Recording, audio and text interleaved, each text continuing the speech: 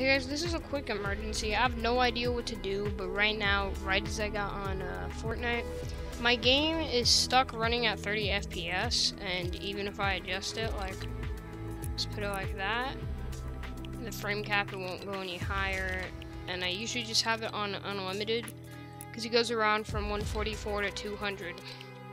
But it is stuck at 30, and I do not know what to do. And I know my PC can handle a lot more so if you guys could help me, that would mean a lot.